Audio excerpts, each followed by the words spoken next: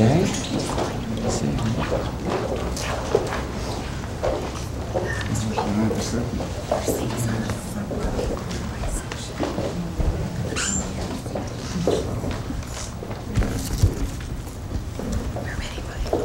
We've got about two and a half minutes or so. When do they want live from the entrance or? Yeah. You know how they are. You know, two of you walking up together. Yes. Sometimes humiliating and doing do. Over the years, I just went from a horse. Italians got pulled in up the skirt and swing right leg. Slide down, facing the side. And yesterday, or Saturday, I did it. That's. I know. He was sitting next to. They rush up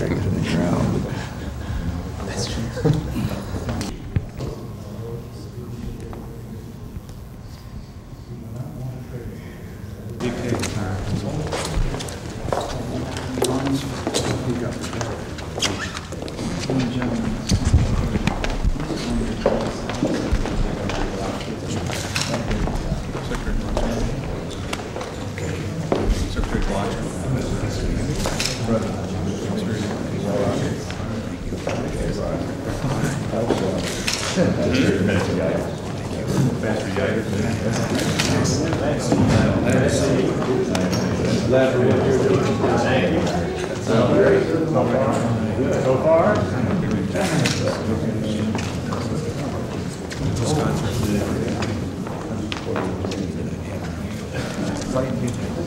Mr. Scott. Hello there. Boy.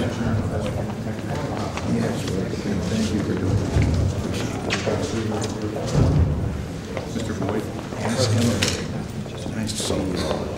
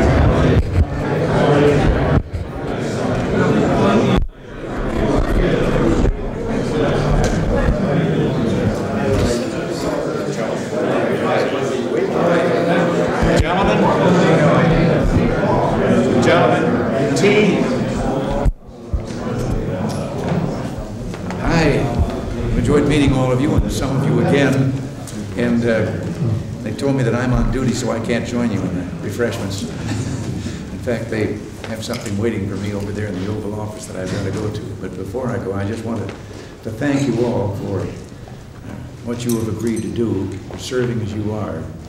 And uh, I think we have a great chance to do something that will straighten out some problems that have been plaguing the world for a long time. And uh, I thank you again, but I commend to you your task, and let's come up with some answers that, uh, that the world will applaud. Thanks very much.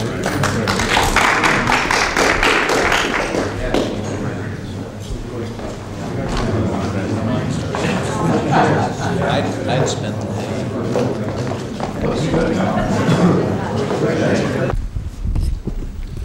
President. Hello, Mr. President. How are you? It's good to see you. Very glad to see you in better shape. Well, I feel great. Thank you. Just been in, they told me I had a hundred percent recovery. That's very good. I'm very pleased with watching everything during that time. Yeah, come in. We're going to have a few minutes here, they're going to bring in three waves of Ah, news yes, photographers. as usual. Yes, you will. And, uh, so you- you in there and, uh, Then we'll have a few minutes to ourselves, and then the press. Over the my illness. So after all, I had to decision. Yeah, we were following all the reports and these are right there. We were following all the reports during the operation. I'm very pleased that, uh, uh, like, we contacted several times to make sure that everything's okay. Hello.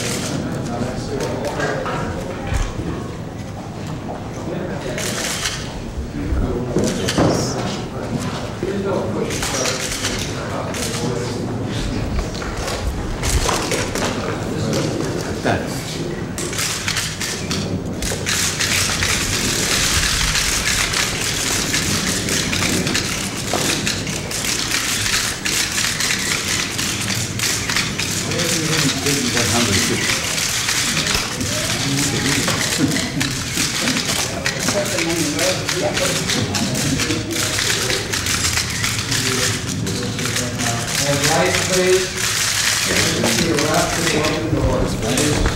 Out this way, please.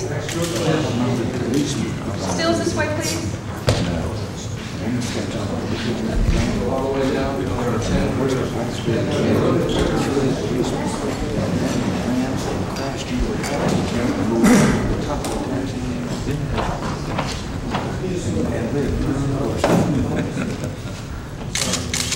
Mr. President, can you tell us of any new proposals that you're going to be discussing today to get the Mideast peace process off dead center? No, no, no comments on that.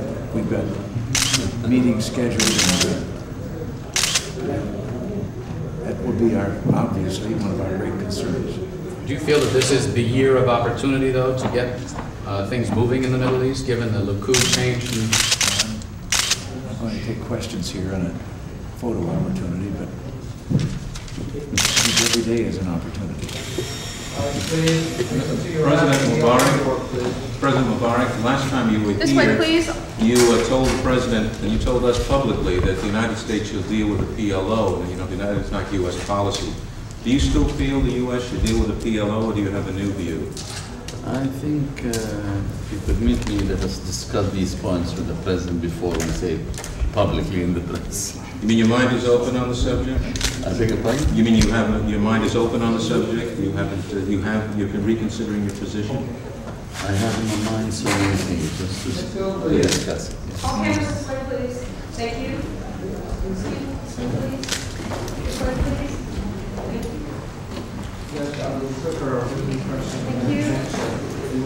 Would like to discuss eight.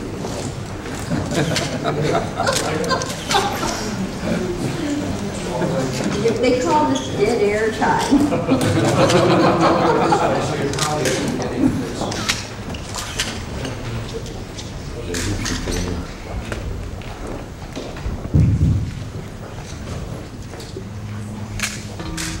From Mrs. Reagan yet?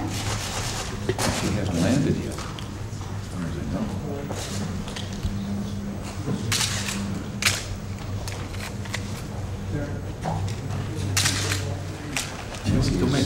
he is going to. Yes, I saw it on the television. He was on his way to, going on a trip to California.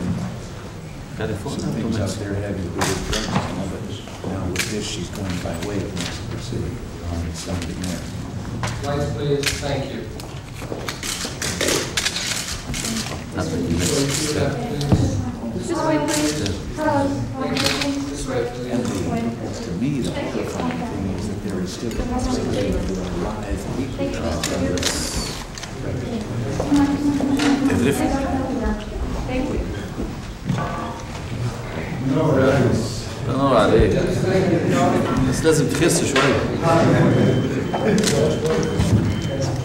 That's it, that's it. Let's get the. We had, some years ago when I was still governor of California, a quake out there. And one of the veterans California is the best. California has a great earthquake fault that uh, runs up the length of California. And in this one, this hospital, Veterans Hospital, collapsed. And uh, I went there and I saw these men that there knows, you know, they know that there's some space between the floors as it collapsed and all. And they had a hole cut in the top. And I stood on the top of this thing. The building is now only about as, like not as high as this room anymore. And these men with flashes were lighting oh, How much money do you have?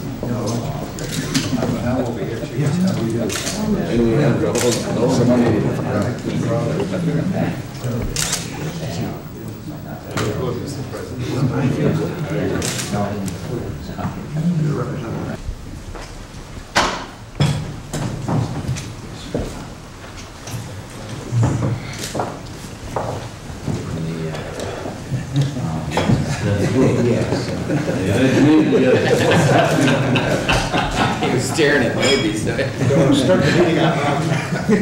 we won't turn it to. Someone gave me this, and I thought this was the best place for it, here in the cabinet. Because you can have yes, no, and maybe, and then you can have.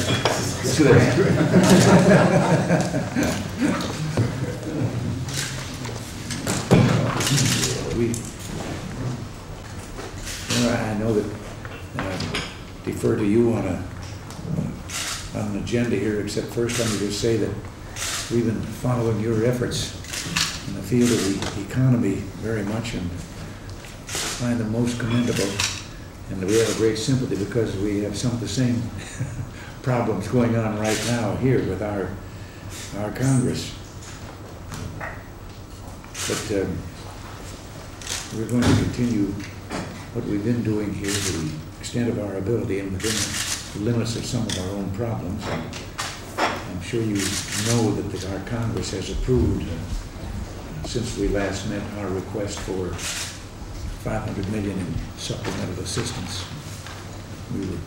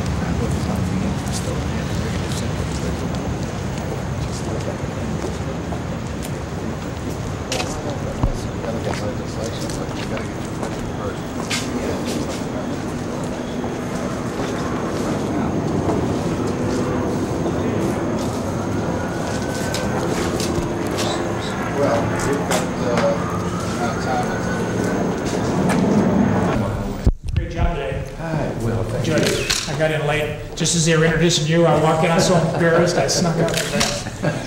Bullet Bill Dudley. Nice to I want see a you, picture sir. with Nice you and to everybody, but uh, Nice to see you. he's the president of the NFL alumni. Well, nice to see you. Executive Director Vic Maitland. How are you, sir? Old Baltimore Real pleasure. Colt. Well, real pleasure to see you. And the greatest receiver in the history of pro football, I did, sir. Elroy Hirsch, Crazy Legs. We're both between pictures, I told you. Chairman of the board of the board of directors, uh, Bill Harper. Delighted to see you, sir. Well, good to see you. And you remember Ollie Matson of the Rams and the Bears. Hi, how are you? Well, nice to see you. Thank you.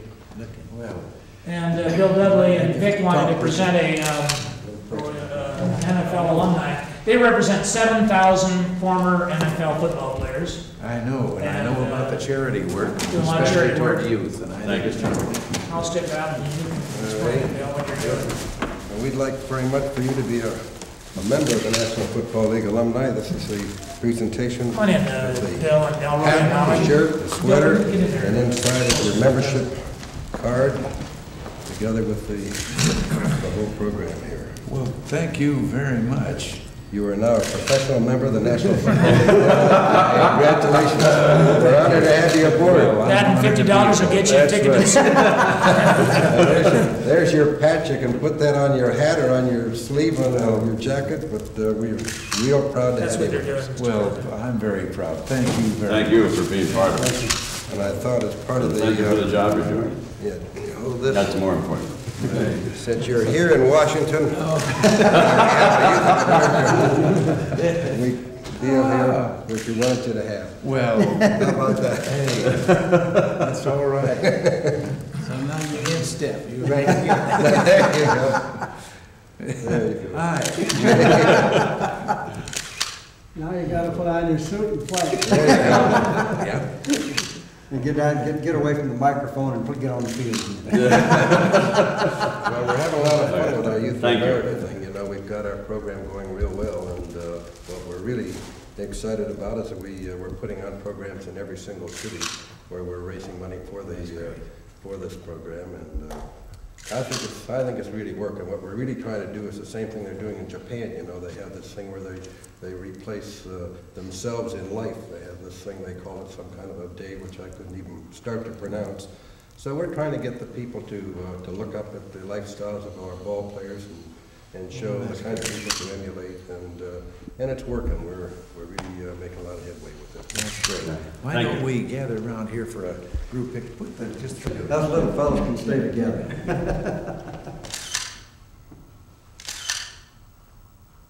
I can't hold my stomach in very long. Thank you. Thank you. Thank you very much. Since Knute, Knute Rockne had a hundred and thirty-eight pound guard that made All-American, I wouldn't worry about it.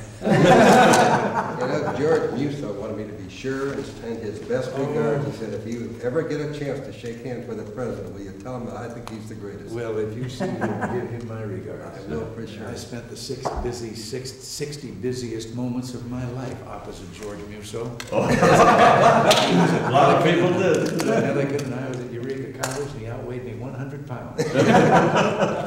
God bless Knute Yeah. Rockne of Notre Dame. That was in the era when he had brought out the idea of the guard coming out of the line. So on most of the plays, I just faced him till the ball was And now when I saw Pat O'Brien, uh, just before he passed away, you know, we were going to make the presentation to you in Tampa. And he was gonna make that presentation for the Old Hero Award. And he died just a couple of months prior to that. But he was really looking forward to that. Oh, I have to tell you something about Pat. He, uh, I called him the hospital. He was in there. And, uh, he, before I could get very far in hellos, he told me an Irish story. And was dead that night. Yeah, no sign of it. The story he told me was about the I- fellow in Ireland that had been collecting a dole for years, and pretending that he was blind. And, uh, and one day went into a movie theater and sat down and suddenly looked and realized the fellow in charge of the Dole office was sitting beside us. So the little Tad suddenly just jumped up, held out his arms, and he says, "Tell me, am I in the bus to carry?"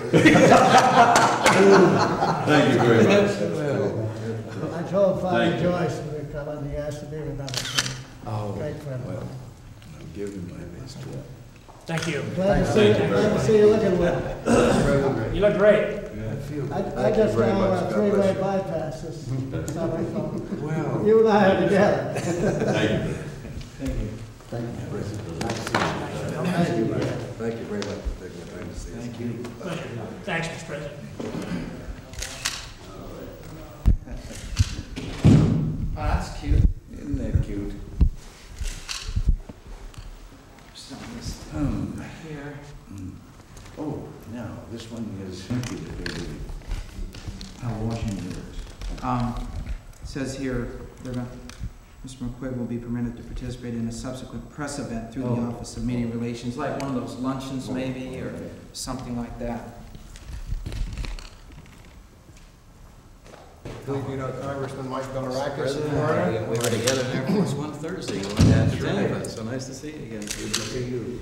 Mr. Scott McQuaid, Hi. a high school senior from Clearwater, Florida, the area that you were in, and uh, And I'm sure sorry about the mix-up and somebody wanted to stick me and Oh, do I- some stitches. I understand This time, we were gonna have an interview. I understand that uh, you started out pretty much the same way I did. Uh, you were a sportscaster. Yes, I was gonna bring that up, and you were doing that now. Yes, sir. And matter of fact, I brought a picture with me of interviewing Pete Rose. Well, I understand you followed that pretty closely there for a while. oh, I, yeah, I used to, uh, I became a sports announcer for about five years. I broadcast the Chicago Cubs and uh, Sox home games. i Well, that was when, before teams had their own announcer. And so there'd be about seven or eight of you broadcasting the same game. And I did Big Ten football. Right, I read about that.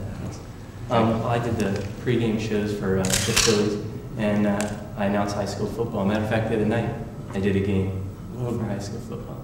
But, uh, you know, I, I understand you had some problems and we couldn't get everything worked out, but I just want to explain to you exactly what we're trying to do. Um, when I was in seventh grade, I started writing letters to you, and your staff was very kind. They helped and everything. And through the help of Congressman Bilirakis, he's been a great help. Uh, I'm finally here today, and I understand we will be invited back soon Yes. to, to a briefing, to talk to you, and I hope that you'll pick on me to ask you a few questions. and and, uh, Wear a red sweater. um, I just want to explain to you exactly what our, what we're going to be doing. And when we come back for the briefing, we're going to be taping a documentary about the United States government, exactly how it works. So And I want you to make sure that Congressman here gets a prominent part. Yes, sir. We're going to follow him around Washington and see, see what he does in day. Matter of fact, it's going to be broadcast in 25 million homes around the nation. We have it nationally aired. and high school senior. we- We're very forward to talking to you, and I hope that you answer our questions. And Well, be pleased to. all right. And, uh, and Thank you. carry on. All right. Thank you very much. Appreciate it. Thank you, Mr. President. Well, thank you for bringing me in. Bye bye. Good to see you. Thank you very much. Bye bye. Take care of yourself. There was some more there. It's a total of six today.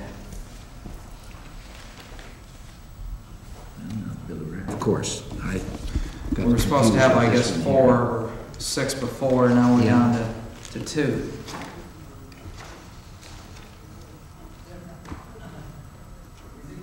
How are you? Good. Nice to see you. Thank you. See you again. Yeah, good to see you. Thank you. Thank you for uh, inviting us in and uh, spending some time with us. Well, pleased to do it. I understand, of course, you've been down to South Africa. We have. We have, and we very much uh, support your policy of resisting the sanctions. Uh, We think uh, for at least three reasons it's the right policy. One, of course, is that sanctions would hurt the blacks. Yes. The second is that it would take away the American presence, which really is leading the way. American companies that apply the Sullivan principles are showing South Africans how it can be done. And third, we think that obviously there would be created a vacuum that would just invite in the communist influence that all of us want to to hear you repress. And one other, it would also affect all the southern states in, in South Africa. About eight to one, we have those sanctions out there. The neighboring states, that's Neighboring right. I uh, got to speak to a group of uh, chief executive officers of companies, corporations that have branches down there working. They're doing, as we all, we know, such a good job with their employees. Uh-huh. And you should And uh, they, oh, when I asked them, I said, the other story is just getting so uh, mm-hmm. constantly on the front. I mm-hmm. said, do what you can to tell what your companies are doing. And they're setting a good example for South African employees, Yes. which I think is a very important part that sometimes is overlooked. Yeah, you should see the housing they provide, the adult education courses they have. Really do a good job. Supervisory positions and so forth. Yes, they have black supervising whites in the mines there. Well, So continue to keep the lid on Congress. We will do our part, and we hope that uh, your influence will uh, keep things in the right perspective. well, God bless you for your support and help. Thank you. We promised the South Africans we'd convey that to you, and delighted that we had the chance to do it. I am too. Could, could we have an individual picture as, as well as, Yes. uh, Oh, sure. together? We had, you had one together, let's have one individual. Go ahead. Okay. This is your package. Yes, ma'am.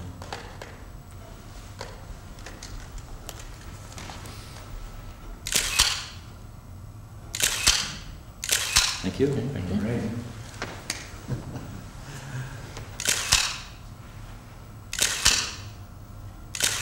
Thank you. Okay, you got it. Good luck to you. Thank you Thank you again. Thank you. welcome. Mr. President, this is Mr. Raymond Lanston, President of International Kiwanis. And I'm Buna. Hello, how are you? Just fine. Mr. President, Hello so honored to see you. Well, honored to see you and have you here. Thank you. Congratulations We're very proud to be here and very proud of you, sir. Well, thank you very much. We have been around the world in 66 countries, and you have the best reputation of any president we've ever heard of. That's in really the entire time. Well, We'd like to present you a small gift from Kiwanis International, because we think this might be something that you would enjoy. And there's a lady at the other end of the building has a goose that may They're, go they're lovebirds, sir, and she has the other. who, who, A lady on the other end of the White House. Ah. I believe you know her. yeah, I think she took off for Mexico. Yes, I think she did She too. spoke to Kiwanis in Phoenix last year. Yes, And Kiwanis fell in love with her. well, And I had the privilege of escorting her from the stage back to the press room and out to the car. So that made us very pleased to see her. well, she's, a uh, and she's most grateful for, among all, many of the things Kiwanis is doing for your activity in the drug, in the drug field. She's been very helpful in it. She has been very good to us, and thank you for making the tape yesterday, which we can get